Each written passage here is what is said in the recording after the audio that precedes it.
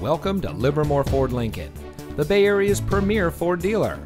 And here's a look at another one of our quality pre-owned vehicles from our large selection and comes equipped with sync communication system, keyless entry, dual front side impact airbags, alloy wheels, rear view camera, adaptive cruise control with stop and go, split fold down rear seat, Sirius XM satellite radio, voice activated touchscreen navigation system, lane keeping system, and has less than 35,000 miles on the odometer.